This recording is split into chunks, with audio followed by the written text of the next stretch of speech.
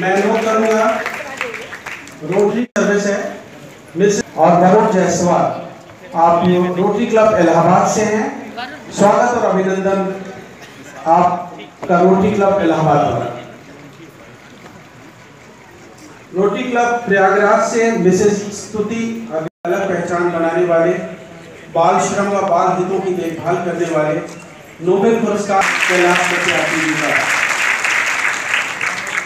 हमारे बीच में बहुत स्वागत और अभिनंदन करते हुए। हमारे बीच में है इलाहाबाद की लोकप्रिय सांसद और इस कार्यक्रम की बैकबोन पश्चिम बंगाल के पूर्व गवर्नर कुशल वक्ता, माननीय केसरी नाथ। उसका हिस्सा। है तो हम दिल्ली आके बस गए और दिल्ली में हमने एक पत्रिका निकाली, संघर्ष जारी रहेगा। उसका मकसद ये था कि ऐसे मुद्दों पर महिलाओं और बच्चे जो कि हाशिए से बाहर धकेल के रखे गए हैं। शोषण हो रहा है उनका लेकिन उनकी आवाज़ कहीं मुख्य धारा की आवाज़ नहीं बनती। मीडिया में कभी आती नहीं थी उस समय। के नगर आग- आगमन पर आधारित है। कैलाश सत्यार्थी जी ने इस आंदोलन की शायद शुरुआत इलाहाबाद से ही की थी जहाँ तक मैंने आपने रिसर्च किया मुझको हाँ जो जहाँ खड़ा है खड़े।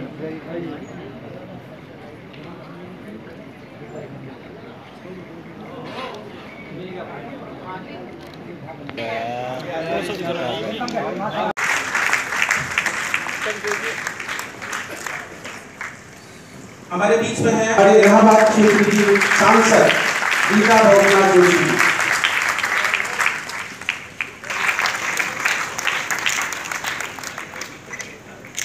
और at the last but not the least doctor Suresh Trivedi स्वागत करेंगे ऑनरेबल जस्टिस अरुण टंडन का।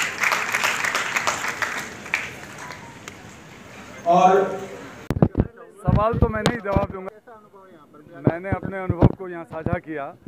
प्रयागराज की धरती को यहाँ के लोगों को मैं नमन करता हूँ और जिन लोगों ने मेरा अभिनंदन किया और जिसका आयोजन आदरणीय बहन रीता बहुगुणा जी ने किया, उन सब के प्रति मैं आभार प्रकट करता हूँ। ये मेरा कार्यक्षेत्र रहा है। संघर्षों के दिनों की मुझे याद है कि यहाँ के सैकड़ों गाँवों में, दर्जनों गाँवों में नहीं बल्कि सैकड़ों गाँवों में मैं गया हूँ जहाँ बिहार के बच्चे और अलग अलग प्रांतों के बच्चों को लाके बंधुआ बना के रखा जाता था। तो तमाम विरोध के बावजूद भी मैं कहता था कि मेरी दुश्मनी इंडस्ट्री के खिलाफ नहीं है।